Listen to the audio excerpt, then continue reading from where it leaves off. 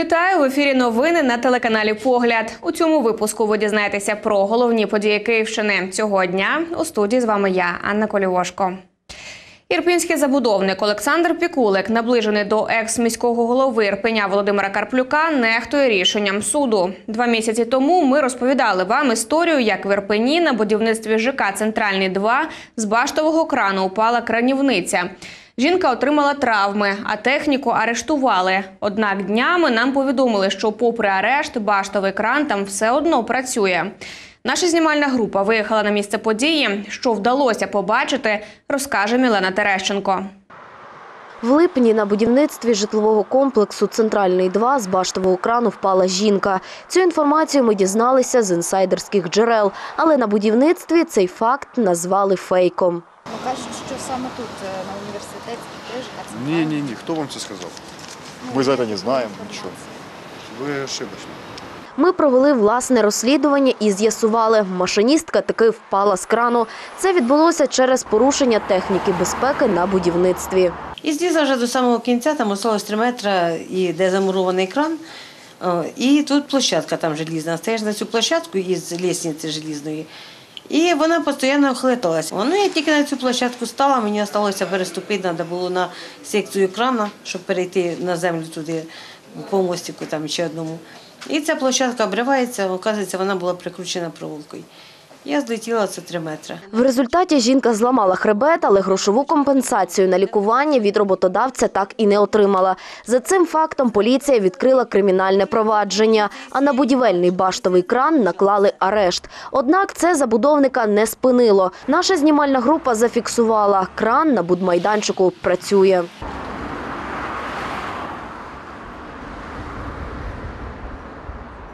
Тож ми вирушили до Ірпінського відділу поліції. Зі слідчим, який веде цю справу, нам поспілкуватись не вдалося. Тому ми залишили заяву про те, що арештована техніка працює. За законом дану заяву слідчий має внести до єдиного реєстру досудових розслідувань, розпочати розслідування та надати нам витяг не пізніше ніж за 24 години. Тож про відповідь правоохоронців повідомимо у наступному матеріалі. Мілена Терещенко, Богдан Ляховець, інформаційна агенція Погляд. Ще 15 гектарів лісу в Ірпені можуть забудувати. На зелену зону між вулицями Київська і Соборна в Ірпені давно задивляються забудовники. Спроби перевести ділянку державної власності у комунальну починалися ще на початку 2000-х років. У 2015-му прибрати ліс до своїх рук хотів колишній міський голова та забудовник Володимир Карплюк. Він змінив його цільове призначення під багатоквартирну забудову. Згодом ділянку нібито відстояли у судах. Чому на місці лісу все ж можуть вирости висотки? Дивіться в сюжеті.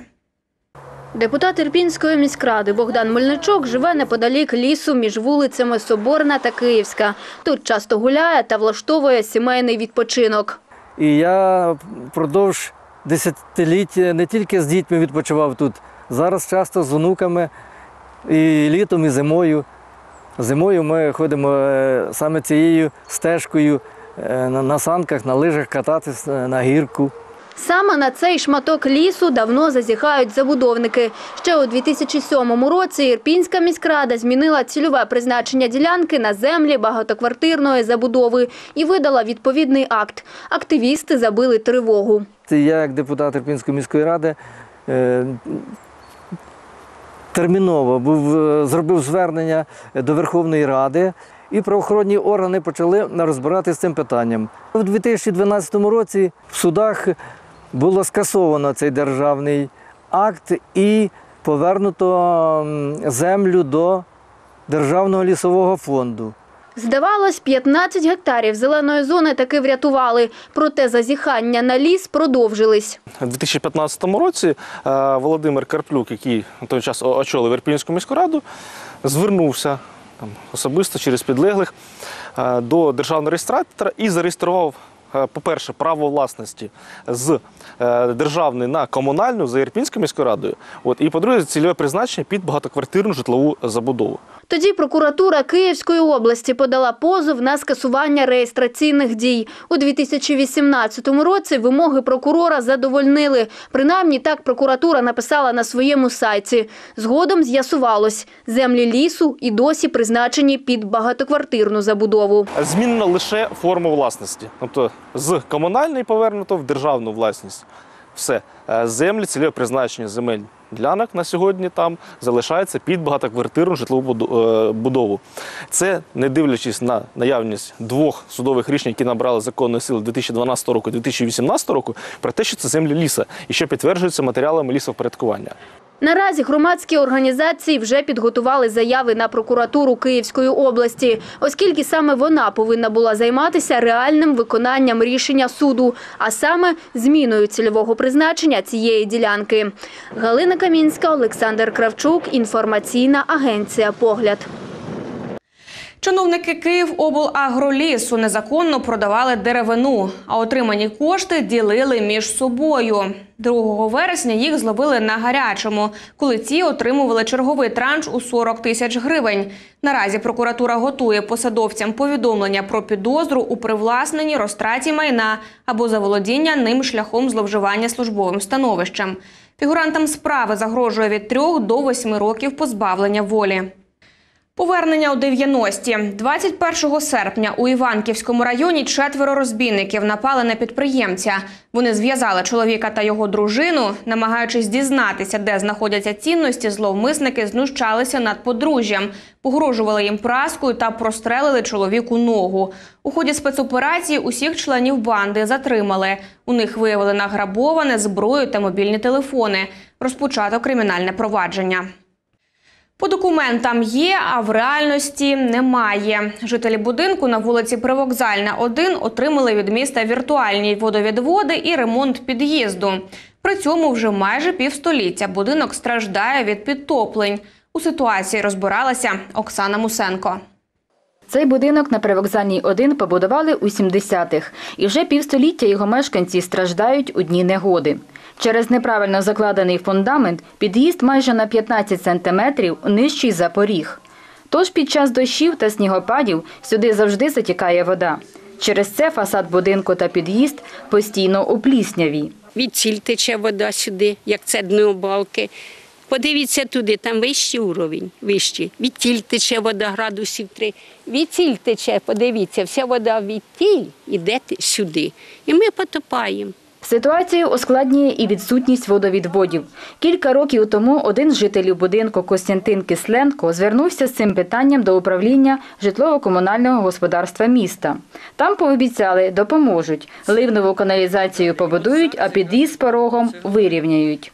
Я вже заспокоївся, я вже нічого не чекаю, я чекаю тільки позитивної відповіді. Я знаю, що це не скоро буде, це треба затверджувати бюджет міста. Листа від міськради Костянтин невдовзі таки отримав. Прочитане його шокувало. У своїй відповіді виконком зазначив, що у другому півріччі 2018 року усі обіцяні роботи уже виконали. Завершена е, реконструкція прибудинкової території та побудована е, лівнева каналізація біля вище зазначеного будинку, якої насправді немає.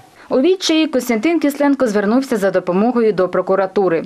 Там заяву чоловіка прийняли, але сказали, що це питання все одно треба вирішувати з органами місцевого самоврядування. Питання е, якості надання житлово-комунальних послуг, в тому числі забезпечення належного стану прибудинкової території, це питання не зовсім відвідання прокуратури, тому що до відання прокуратури не Ви маєте дивіться, ви маєте це якість, ви маєте право самостійно за- за- захищати себе в суді. Щоб розібратись в ситуації, ми зателефонували начальнику управління ЖКГ Андрію Літвинову. Це дивно, це дивно. Треба розібратися тоді, якщо там нічого не зробити, ніхто це не згрупував і чого так написали людям. Не зрозуміло. Я розберуся в цьому питанні, подивлюся, е, хто готував цей лист, і чого вони так написали, і чому, чому не зробили. Тож тепер жителі будинку на привокзальній 1 чекають чергової відповіді від комунальників. Сподіваються, водовідводи і ремонт під'їзду їм все ж таки зроблять у реальності, а не на папері. Оксана Мосенко, Владислав Липинський. Інформаційна агенція Погляд. Знову за майданчик гроші. Зона для вигулу собак в Ірпені вартістю понад мільйон гривень стане дорожчою ще майже на 400 тисяч. Цього разу майданчик, який фактично звели лише два місяці тому, вирішили капітально відремонтувати. Ірпінський виконком знову виділив на нього кошти одразу двом підрядникам. Один із них Горбунов Василь Васильович отримує 285 тисяч гривень. Інший Бернацький Микола Миколаєвич 104 тисячі. Цікаво, що саме Бернацький вже отримував від виконкому суму у 600 тисяч гривень на цей майданчик, але у вказані терміни нічого не зробив. Що саме будуть ремонтувати за таку суму і чому новому майданчику знадобився ремонт? Надалі будемо з'ясовувати у посадовців.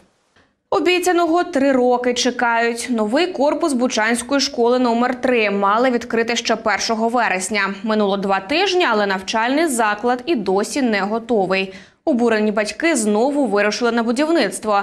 Разом із ними була і наша знімальна група.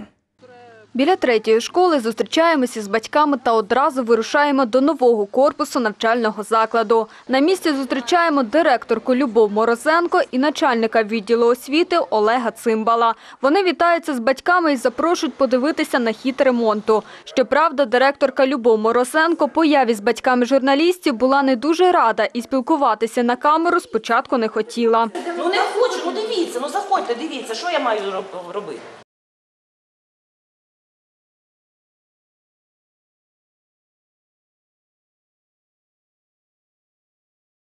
Тож екскурсію корпусом проводив начальник освіти. На першому поверсі роботи залишилось чимало. У коридорах ще не зроблена стеля, ліфт, не пофарбовані стіни. Робітники встановлюють двері у класах та ставлять сантехніку у санвузлах. Сьогодні на перший поверх у класи батьки заходять, вони нам, ми їх просимо помити вікна, трошки прибрати, все рівно, що чистова буде у нас прибирання, а поки що пішли далі. Поки дійшли до другого поверху, розговорилася і директорка. Вона показала нам шкільні класи. Треба трошечки порядок навести. А так уже все готово. Парти зібрані, стільці зібрані. Зараз тут встановлюють систему вентиляції. чистый воздух и одновременно выбрасывает грязь. То есть не нужно открывать окна, можно просто включить. Також на другому та третьому поверхах вже зробили туалети. Це для вчителів, для хлопчиків і для дівчат. Після огляду приміщення корпусу йдемо дивитися центральний вхід школи. Там ми плануємо в углу буде дитячий майданчик. А тут буде ще один вихід. Поряд робітники насипають чорнозем для майбутньої зеленої зони.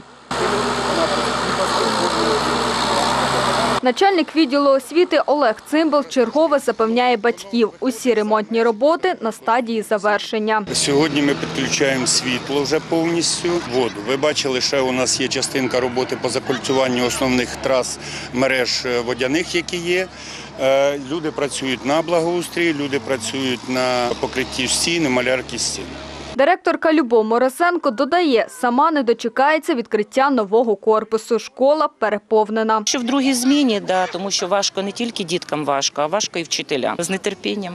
Ви ж бачите, ходжу кожен день, але ж е, знову ж таки е, я керую вчителями. Е, Будівниками ж я ж не керую.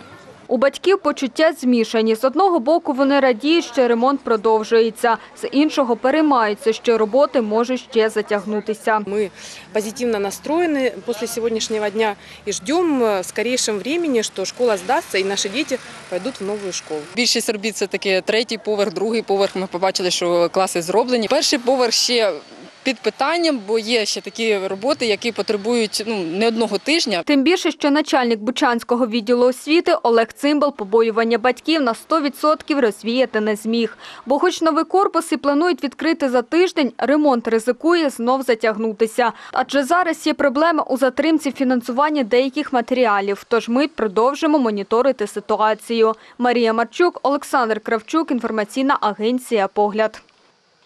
Це усі новини на сьогодні. Бережіть себе та своїх близьких. І побачимося на погляді.